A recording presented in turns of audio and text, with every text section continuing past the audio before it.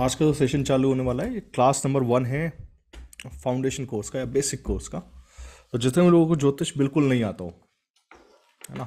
बिल्कुल ज़ीरो से स्टार्ट करें उनके लिए बहुत हेल्पफुल रहेगा। मेरा सिर्फ़ एक रिक्वेस्ट है, अगर आपको कोई भी चीज़ समझ में नहीं आएगी, आप लोग अपने हैंड रेस करेंगे और मैं उस क्वेश्चन का आंसर कर दूँगा, अगर वो टॉपिक से रिलेटेड होगा। दूसरा एक रिक्वेस्ट है कि मैं मानता हूँ कि ज्योतिष सीखते ना बहुत सारे पर्सनल क्वेश्चंस आते हैं दिमाग में। पर पता है क्या पर्सनल क्वेश्चंस ना ऑटोमेटिकली सॉल्व होते जाते हैं जब आप नॉलेज को पढ़ते हो। आप में से जितने लोग कैमरा ऑन कर सकते हैं ना या कैमरा ऑन करने की स्थिति में, क्योंकि मैं इमेजिन करता हूँ कि आप इतनी बड़ी विद्या को सीखने के लिए आरंभ कर रहे हैं ये दिन, वो भी अश्विनी नक्षत्र के दिन तो आप लोग पूजा करके आए होंगे शावर ले लिया होगा और शायद फास्टिंग में होंगे। तो अगर आप जितने लोग कैमरा ऑन कर सकते हैं प्लीज़ कर लीजिए, क्योंकि ना उससे ना मेरे को एनर्जी को कनेक्ट करने में बहुत आसानी मिलती है। मैं रिकॉर्ड भी कर सकता था। पर रीज़न क्या है लाइव क्लास करने का? कि जितने भी स्टूडेंट्स को हम लोग देख सकते हैं तो देख कर ना बहुत सारी एनर्जीज पता चल जाती हैं कि स्टूडेंट किस लेवल पे है। कंफ्यूज तो नहीं दिखाई दे रहा। क्योंकि लाइव पढ़ाने का मज़ा बहुत अलग है। और अगर सामने कोई बैठा हो क्लासरूम में तो चौक भी फेंक के मार सकते हैं, पर वो सुविधा भी मेरे पास है नहीं। तो एटलीस्ट जब मेरे को देखेगा कि आप इधर उधर देख रहे हो तो मैं एटलीस्ट डांट पाऊँगा। तो ये जो विद्या है ना, ये ज़िंदगी भर काम आएगी, ये सुकून देगी। ये ऐसी विद्या है जो ना हर किसी के लिए बनी नहीं है। अगर आपके अंदर किसी भी तरीके का भय हो, चिंता हो किसी चीज़ को लेकर परेशान हो, ये विद्या नहीं आएगी। मैं अभी बोल देता हूँ। लेकिन अगर जब आप इसको सीखने लग जाओगे, आप मेरी बात मान के चलना, सिर्फ़ और सिर्फ़ एक साल के अंदर आप मेरे कहने से सीखोगे, आपकी लाइफ के अंदर जितना भी प्रॉब्लम है, वो सॉल्व हो या नहीं हो, आपकी सारी चिंताएँ खत्म हो जाएँगी। ये विद्या ही ऐसी है। ये इतना मुक्त बनाती है कि आपको हर एक द्वंद्व से खत्म कर देती है। ग्लानी जो है ना, वो सबसे बड़ा भार है इंसान के अंदर, हर एक चीज़ के लिए ग्लानी। और ग्लानी पे ही पूरा धर्म चलता है। ये पूरी दुनिया ग्लानी पे चलती है। उसको खत्म करने के लिए ज्योतिष है। विद्या आपको लिबरेट करेगी हर एक मिनट लेकिन उसका कंडीशन है कि जब मैं बोल रहा हूँ तो प्लीज़ अपने आप, मेरे को बहुत ध्यान से सुनिएगा। मैं बहुत सारे सूत्र ना लगातार बोलते हुए चलता हूँ। मैं लिखता कहीं पे भी नहीं। मैं पावर पॉइंट्स नहीं बनाता। मैंने स्कूल में भी नोट्स नहीं बनाए आज तक। लेकिन मैंने जो इतने टाइम का पढ़ा हुआ है, वो मैं आपको सिखाता हुआ चलूँगा। उसके बीच में से क्या लर्निंग निकलेगा, वो आपके ऊपर डिपेंड करता है कि आपका एनर्जी लेवल क्या है। ज्योतिष आपको निश्चिंतता की ओर लेके जाएगा। ये बात मैं आपको गारंटी देता हूँ। और अगर ये ज्योतिष आपको परेशान करने लग जाए तो समझ लीजिएगा आपने ढंग से पढ़ा नहीं है। और ऐसा कितने सारे स्टूडेंट्स अब तक मैंने पढ़ाए हैं। बहुत सारे लाइव एग्ज़ाम्पल है जो बोलते हैं, सर लाइफ चेंज होता है। मैं बोलता हूँ, होता है। मैं सिर्फ़ आपको रास्ता दिखा रहा हूँ। आगे मेहनत आपको ही करनी है। तो ज्योतिष के ना कुछ नियम है। क्योंकि ज्योतिष ना लाइफस्टाइल है। ये कोई सब्जेक्ट नहीं है। इसको लाइफस्टाइल को जीने का तरीका आना चाहिए। इससे पहले कि हम ग्रहों की बात करें, हमको ना अपनी बात करनी चाहिए, क्योंकि सारे के सारे ग्रह हमारे ही अंदर बैठते हैं। और होता क्या है कि हमारी ना बहुत अच्छी हैबिट है कि हम लोग ना अपने अंदर कमियाँ नहीं ढूंढते कभी भी। हम लोग कमी ढूंढते हैं, सामने वाले के अंदर। हम ये बोलते हैं कि, मेरा मंगल खराब है, राहु खराब है, ये खराब है। खराब कुछ नहीं होता। हमारी अपनी प्रॉब्लम्स हैं जो हमको सिखाई नहीं देती। तो जब कभी भी आपको लगे कि परेशानी बाहर वाले के अंदर है। आप दस मिनट रुक के सोचिएगा, परेशानी आप ही के अंदर है। और कई बार ना कंसल्टेशन में मैं बोलता हूँ, और इसलिए कंसल्टेशन कई बार नेगेटिव फीडबैक वाले आते हैं। वो बोलते हैं, मेरे को हेल्प नहीं किया आपने। मैं तो हेल्प करना चाहता था, आपने हेल्प ली नहीं। आप सुनना ही नहीं चाहते मेरी बात को कि परेशानी आपके अंदर है। तो लेकिन जब हम अपने अंदर से परेशानियों को एब्जॉर्ब कर लेते हैं ना मुझे बोलते हैं कि हाँ ये ऐसा ही है। मेरा मंगल नीच ही है, मैं ऐसा ही हूँ। बात खत्म। इसके अंदर कोई सुधार की गुंजाइश नहीं रह गई है। लेकिन इसी मंगल की एनर्जी को मेरे को यूज़ करना सीखना है। मेरा सूर्य नीच है, मैं ऐसा ही हूँ, मैं लोगों के साथ एडजस्ट करते हुए चलता हूँ, मैं लगातार, मैं इंडिविजुअलिटी नहीं दिखाता हूँ। पर यही मेरी अच्छी चीज़ है कि मैं लोगों के साथ मिलके चलता हूँ, मैं सबके काम आता हूँ।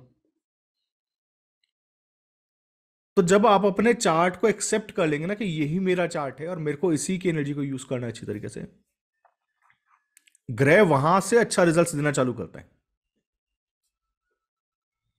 जिस दिन मैंने ये मान लिया कि मेरी सारे की सारी मैं ना बात कर सकता हूँ, ना लंग से लिख सकता हूँ, कैपिटल लेटर्स बीच में यूज़ कर लेता हूँ, ग्रामर आता नहीं है।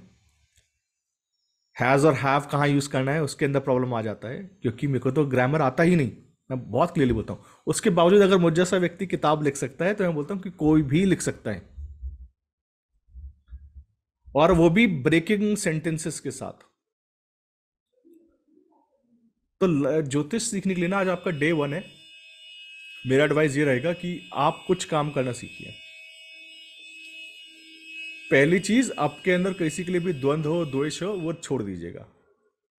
क्योंकि आप जब किसी और पर फोकस कर रहे होते हैं ना, वो बड़ी, वो चीज़ बड़ी हो रही होती है। फोकस अपने आप पे रखना है। मेरे को कैसे बेहतर बनना है? कहीं पे लिख लीजिए इस बात को। मेरे को कैसे बेहतर बनना है? अपने लिए सोचिए।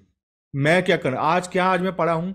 क्या आज मैंने अपने बॉडी के लिए टाइम दिया है? क्या आज मेरे को अपने ड्रेसिंग में टाइम दिया है?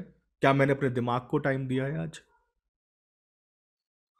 आपके उत्थान के लिए आप क्या करें इस पर बहुत चिंता कीजिएगा। बजाय कि कोई क्या कर रहे दूसरा अपने आप को आइसोलेशन में लेके जाइए। आप शांत नहीं बैठिए, शांत बैठिए। और शांत आप तब बैठते हैं, आपके विचारों के अंदर अच्छा स्पंदन तब होता है जब आप खाली बैठने के हैबिट में आते हैं। तो खाली बैठने के हैबिट के लिए फ़ोन नहीं देखना है, ज़रूरत से ज़्यादा। ज़्यादा लोगों से बात नहीं करनी है आइसोलेशन में जाना है। और अपने काम से काम रखना है। और खाली बैठ के क्या करना है कि कोई ना कोई पढ़ाई करनी है। देखो, पढ़ाई से ना खुशी मिलती है। बहुत सिंपल सा है और जब आप अपने काम में मस्त हो जाते हैं ना, फिर दुनिया कुछ भी करते रहे। आपको मस्त रहना है। हमको दुखी रहना सिखलाया जाता है, मैं आपको खुश रहना सिखला रहा हूँ। हैबिट है, डालनी पड़ती है। डेली वो ना डेली चेक करना पड़ता है अपने आप को कि आज मैं दुखी क्यों हूँ? आपका ब्रेन दुख रहने के कारण डेली सुबह उठ के ढूंढ लेता है प्लीज़ उसको समझाइएगा कि दुखी नहीं होना है। ये बेसिक से नियम है लाइफ के, मैं इसको सिखाता हुआ चलूँगा। क्योंकि ज्योतिष ना इसके बिना नहीं आएगा। अगर इसके बिना ज्योतिष सिखाऊँगा ना तो आप सिर्फ़ और सिर्फ़ ऐसे ज्योतिष बन जाओगे जो बोल रहे होंगे कि आपका सष्टेश यहाँ है, अष्टमेश यहाँ है। और मेरे साथ, मेरे जो ऑफ़िस में जितने भी लोग काम करते हैं, वो सारे मेरे स्टूडेंट्स हैं ना, आपके ऐसे ही स्टूडेंट्स हैं जिन्होंने कभी स्टार्ट किया था। मैं तो उनको जादू डेली दिखाता हूँ। और नहीं दिखाऊँगा तो वो छोड़ के चले जाएँगे। क्योंकि वो तो दिन रात मेरे को देखते हैं ना कि मैं क्या कर रहा हूँ। और यही काम ना आपको करके देखना है। हर एक हफ़्ते मैं आपको एक नई चीज़ सिखाऊँगा। तो आज का जो लेसन है ना लाइफ लेसन है, वो है अपने आप को खुश रहने के लिए पूछना पड़ता है अपने आप से कि आज मैं दुखी क्यों हूँ? दुखी होने का कोई कारण आपके पास नहीं है। जब तक आपके पास शरीर है हेल्थ है, आपके पास दो वक्त का खाना है सोने के लिए बेड मिल जाता है। इससे ऊपर की इच्छा अगर आपकी है तो वो सब बेकार है। ज्योतिष सीखने को मिल रहा है ना मतलब ये लकी चीज़ है ना कि ज्योतिष सीखने को मिल रहा है फ्री में। नॉलेज इतने कि हज़ार किलोमीटर दूर बैठ के भी मिल रहा है, यही सबसे अच्छा भाग्य है। यहाँ से चालू करते हैं। तो मैं ये मान के चल रहा हूँ कि आप में से किसी ने आज तक ज्योतिष का जा भी नहीं पढ़ा, है ना? तो मैं बिल्कुल फाउंडेशन से चालू करूँगा। और उसके लिए अपने व्हाइट बोर्ड के ऊपर लेके जाऊँगा आपको हम्म। ठीक है तो ज्योतिष के अंदर हम लोगों ने क्या करा जितने भी ऋषि थे जितने भी महर्षि थे उन्होंने कहा कि समय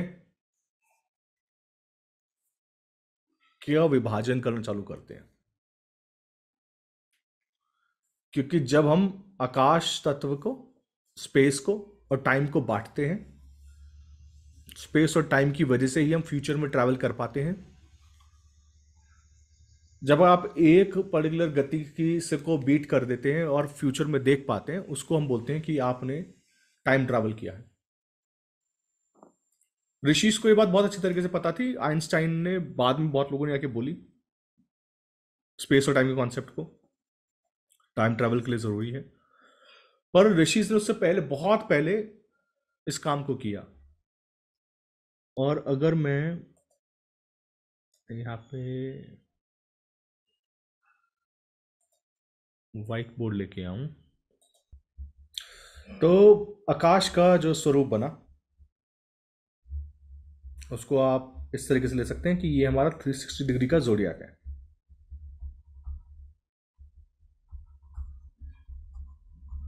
आप आसमान में ऊपर देखिए, आपको जो भी दिखता हो, आप इसको सर्कुलर फॉर्म में भी लेके आ सकते हैं।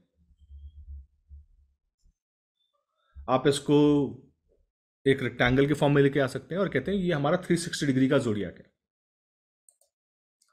अब इस 360 डिग्री के जोड़ियाक को हमने डिवाइड करना है। बारह भागों में डिवाइड किया बेस्ड ऑन द एनर्जी तो हम लोगों ने क्या करा? हमने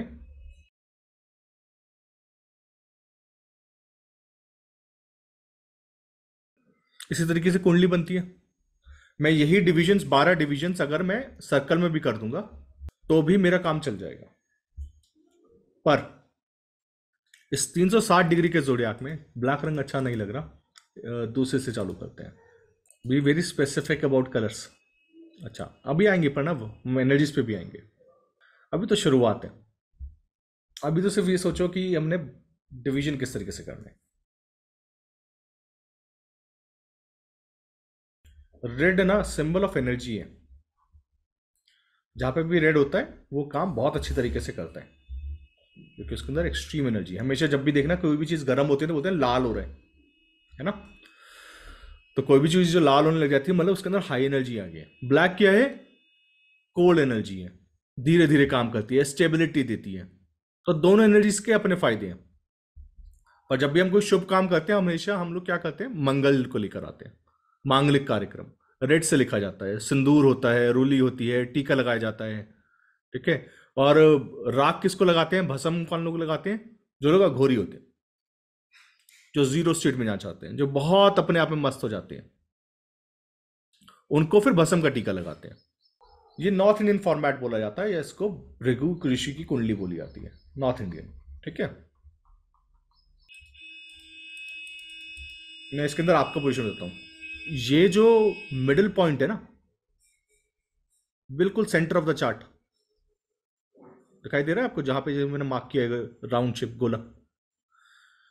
अगर आप फ़ोन में देख रहे होंगे इसको तो आपको थोड़ा सा स्क्रीन को जूम इन करना पड़ेगा। ये जो सेंटर पॉइंट है ना, ये आपको ये जो ये पॉइंट है सबसे ऊपर वाला पॉइंट ये ईस्ट है। सबसे जो लोअर पॉइंट है चार्ट के अंदर, ये वेस्ट है। ये जो पॉइंट एक्सट्रीमली टेंथ हाउस के इधर है, इसको साउथ बोलते हैं। ये साउथ डायरेक्शन है। और फोर्थ हाउस और थर्ड हाउस के बीच में ये पॉइंट नॉर्थ है। तो ये जो चार्ट मैंने आपके सामने बनाया है, इसको बोलते हैं काल पुरुष कुंडली। इसको बोलते हैं काल पुरुष कुंडली। मतलब जब कभी भी इन्होंने डिसाइड किया होगा ऋषिज ने कि हमें चार्ट बनाना है तो उन्होंने क्या करा? उन्होंने बोला sun rises in the east बिल्कुल ठीक बात है ना? सन ईस्ट में राइज करता है। तो हम ईस्ट से चालू करते हैं चार्ट को अपने, कि सुबह सुबह पाँच से सात बजे का टाइम वो ये फ़र्स्ट हाउस राइज करेगा। और किसके साथ राइज करेगा? सन के साथ करेगा। तो हमारा जो सोलर सिस्टम के और ज्योतिष में जो एक बहुत बड़े, अच्छे प्लानिट है, वो है सुन जिनको यह बोला जाता है सूर्य। तो भगवान सूर्यदेव सारे ग्रहों के राजा हैं।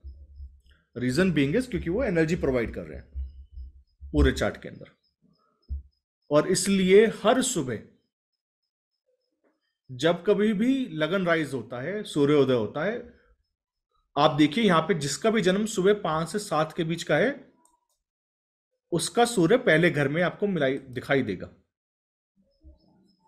है कोई हमारे क्लास के अंदर? सूर्य जिसको लगन में है पाँच से सात बजे का टाइम पीरियड है। सर एक सवाल पूछूँ? हाँ जी पूछ लीजिए।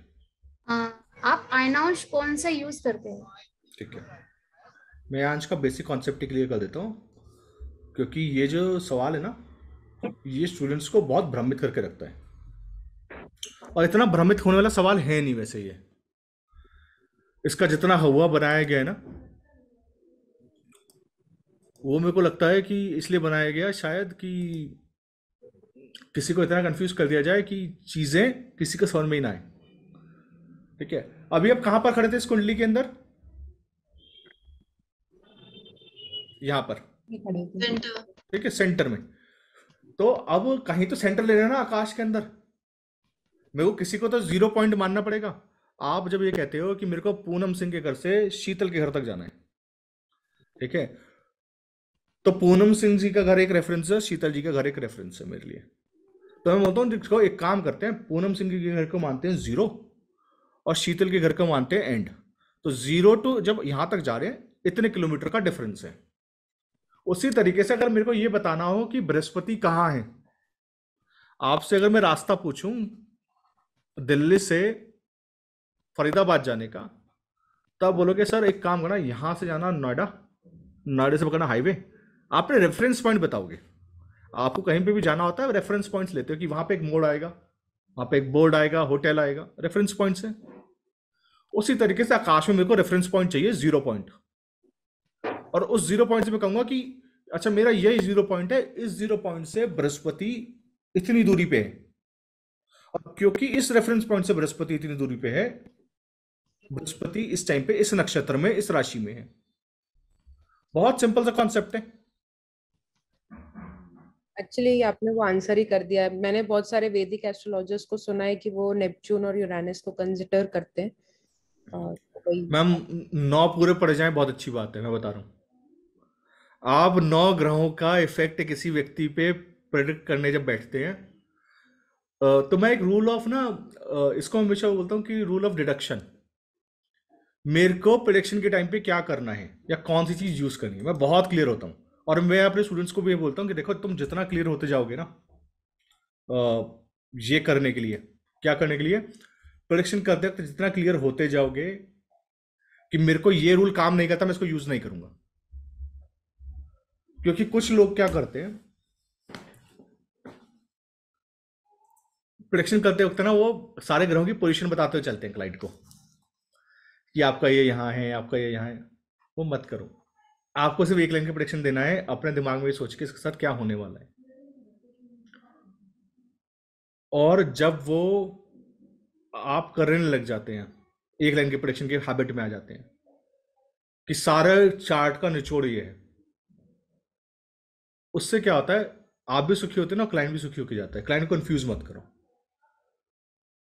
नौ ग्रह, बारह राशियाँ, इतने कॉम्बिनेशन बनते हैं। आप उनको ही पार कर जाओ ना, बहुत बड़ी बात है। और ड्यूरिंग द कंसल्टेशन ना, कोशिश हमेशा ये रहती है कि इसका एक एटलीस्ट जिस प्रॉब्लम के लिए आया वो सॉल्व हो जाए। क्योंकि उसी के पीछे का इतनी एनर्जीज होती हैं, एक प्लांट अकेला काम नहीं करता ना, उसके पीछे की इतनी एनर्जीज कनेक्टेड होती हैं कि उसको ये बताना कि ये देखो, ये इसका रिज़ल्ट आएगा। तो इसलिए कम से कम चीज़ें इस्तेमाल कीजिए टू द पॉइंट यूज़ कीजिए और इफ़ेक्टिव चीज़ें यूज़ कीजिए। सर, बुद्ध क्यों तबाही मचाते हैं मतलब राहु का तो पता है, इसलिए कि मतलब राहु के गुरु हैं बुध एक अच्छा। इमेजिन करो एक बहुत समझदार बच्चा, बहुत जैसा। जिसकी ग्रास्पिंग पावर बहुत अच्छी हो। जो लोगों को रेप्लिकेट करता है। बुद्ध किस लिए काम आता है? कि जो लोग मिमिक कर सकते हो दूसरों को। जो दूसरों की हैंड राइटिंग भी कॉपी कर लेते हो। हमेशा नए आइडियाज़ आते हो जिनको। उसके साथ ना एक शैतान बच्चा बैठ जाए। तो बुद्ध आइडियाज़ देता है। ठीक है? और राहु उसको बताता है कि इसके अंदर करेज कैसे लेके आना है। ये जो कॉम्बिनेशन है ना बुध राहु, ये एक्सट्रीमली ब्रिलियंट कॉम्बिनेशन है। दिमाग 200 परसेंट तेज़ी से काम करता है। तो दो ऐसे बच्चे, एक बहुत समझदार, इसको आइडियाज़ राहु और बुध बोलता है राहु को कि आइडिया है मेरे पास। राहु बोलता है, ठीक है। तबाही मचाते हैं। बम कैसे फोड़ना स्कूल में? ये बुध राहु है राहु के आइडियाज़ ना कभी सीधे नहीं आते। उनको आइडियाज़ हमेशा आउट ऑफ़ द बॉक्स आते हैं। और जब उसके साथ बुद्ध मिल जाता है ना इंटेलिजेंस मिल जाती है राहु को। राहु ना मिरर की तरह वो जिसके साथ बैठ जाता है, उसको एम्पलीफाई कर देता है। लेकिन करेगा अपने तरीके से। तो उसके अंदर बुध और राहु का कॉम्बिनेशन या राहु का कॉम्बिनेशन किसी भी प्लांट के साथ होगा ना, वो ब्रिलियंस देता है उस प्लांट को। आउट ऑफ़ द बॉक्स सोचने की क्षमता देता है। शैडो कर देता है। सर दृष्टि से भी मान्य जाएगा एम्पलीफाई हाँ जी। हम्म, ठीक है। और अभी तो मैं प्रिडिक्शन सिखा ही नहीं रहा मैं तो आपको फाउंडेशन में लेके आ रहा हूँ। मैं तो आपको बता रहा हूँ कि देखो ये लेवल वन है यहाँ पे ये याद करना है। अच्छा। अब ना ये जो नौ ग्रह है ना sun moon Mars Mercury Jupiter Rahu Ketu इनके अपने अपने पोर्टफोलियोज हैं। इनके अपने तरीके हैं काम करने के। ये अपने तरीके नहीं छोड़ सकते। ये जहाँ बैठेंगे, सूर्य जहाँ बैठेगा, मैं सूर्य से हमेशा चालू करता हूँ, ठीक है? क्योंकि सूर्य ना राजा है। और बिना सूर्य के ना ज्योतिष नहीं आएगा, ध्यान रखना। सूर्य को अर्ध दिए बिना, गायत्री का जाप किए बिना, ज्योतिष ना फलित नहीं होगा। क्योंकि जब तक राजा नहीं अलाउ करता ना प्रिडिक्शन होता नहीं। तो सूर्य का ग्रेस बहुत ज़रूरी है, सूर्य का प्रताप ज़रूरी है प्रिडिक्शन के लिए। तो इन बारह राशियों की अपनी एक एनर्जी है, ठीक है? बारह राशियाँ आप बारह प्रॉब्लम्स की तरह सोचिए लाइफ के अंदर, बारह डिपार्टमेंट्स की तरह सोचिए। तो पहला डिपार्टमेंट क्या है? हेल्थ फ़र्स्ट हाउस किसको रिप्रेजेंट करता है? हेल्थ को। आपकी ओवरऑल पर्सनालिटी को, आप कौन हैं? आप कहाँ से आए हैं? कई बार हम बोलते हैं पता नहीं किस मिट्टी से बनाए वो जो मिट्टी है ना, वो मिट्टी ही लगन है। जब आकाश और पृथ्वी जहाँ पे मिल रहे हैं हराइजन हराइजन क्या है? जहाँ पे आकाश और पृथ्वी मिल रहे हैं, वहाँ पर जब वो टाइम मिल रहा था, तब आपका जन्म हुआ है। और उस पर्टिकुलर टाइम पीरियड पे आपको ये बताया जाता है, आप जिस लगन में पैदा हुए हैं, वो सबसे इंपॉर्टेंट है, क्योंकि आप उसी लोक से आए हैं।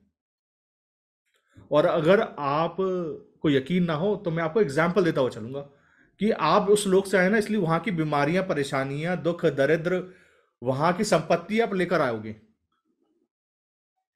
ऐसा हो ही नहीं सकता कि आप वहाँ से आ रहे हो और यहाँ पर आके वो चीज़ें ना लेके आओ। तो जिस मिट्टी से आप बने हो, वही आपका लगन है।